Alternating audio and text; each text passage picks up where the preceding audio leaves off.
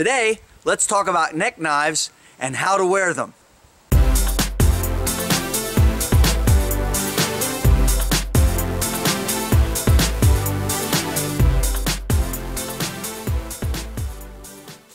I've been wearing neck knives for many years and I typically use the standard method that a lot of people do where you uh, have some sort of a cordage strap around your neck and it just sort of hangs like this. And of course the problem is whenever you bend over to do any sort of tasks uh, you know, you're, you're, bending over and the knife is always swinging out. It's getting in the way of your, your fire lay, your starting fires, and, and uh, doing different tasks around camp, and it swings out, and it gets like it gets just in your in your hands, it gets in your face, your line of sight, so it kind of becomes a problem. Of course, you can always just take it and, and stick it inside your shirt and zip it up, and that's, that's a decent option.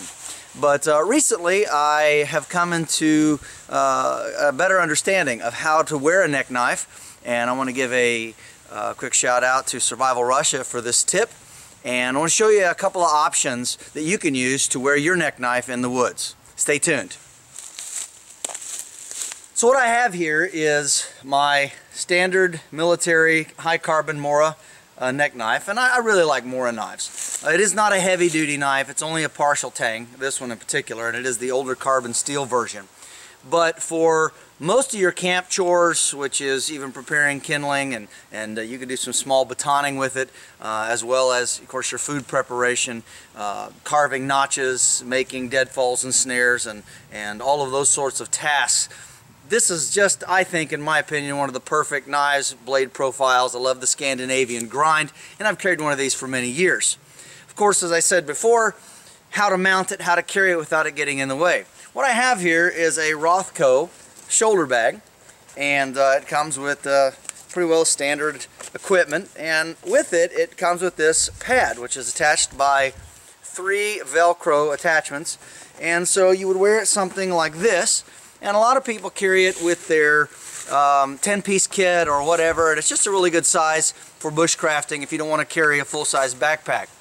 And so here's a good idea for you all if you want to mount your knife and if it does have the uh, standard clip on the back and uh, many of you have seen that you know what that's uh, like and what it's made of and of course you all are familiar with the Mora knife this one's very well used has a nice patina on the blade all right, so here's, here's what you want to do. This is typically used for your shoulder, but I don't find this bag to be very heavy. It's a pretty wide strap, and so it fits nicely over my shoulder without the use of this. So here's what you can do. Open this middle one up and take the snaps here, where it normally would go over your belt, and put it into this first loop here, and just snap it down. Takes a little bit of doing, but it's not too hard. Just push it on down there, and uh, it will snap into place. Okay, just like that. You have to work with it a little bit. All right, so we've got that attached. And then open this, I said, the center part of the Velcro, and then it fits right under the bulge here where the knife actually goes in and fastens. And now we have a nice way to carry our bushcrafting knife and probably 80-90% of your bushcraft, bushcraft chores will be done with this style of blade. A much heavier blade, of course, can be carried, and I almost always carry at least two or three knives. But I like this type, and of course now, as you can see, if I bend over, I can move around, I can shift, I can do whatever I want, and this stays with me. Now I know the knife isn't on my body, but I always carry a pocket knife, for instance, uh, in my pocket. And uh, so I carry a pocket knife, and I also always carry my multi-tool. So I've always got a couple of knives on me regardless. I just really like this option for carrying uh, my neck knife and it is close here. It's easy to access and use and put back in when I'm done. And so that's one option. I've got one more. Stay tuned.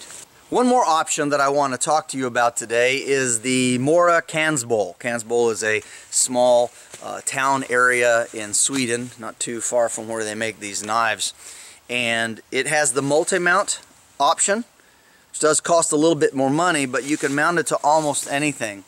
But what I like about it is you can mount it to a one inch strap with this quick release buckle and you can carry it in the cross draw fashion that I just showed you but it's not attached to a pack or a bag. It's just, it's literally its own system and it is adjustable so wearing a coat or if you're not wearing anything you can just literally cinch it on down like this make it nice and firm. It doesn't swing out it doesn't get in your way. It's still readily accessible to hand for doing all your camp chores and taking care of things.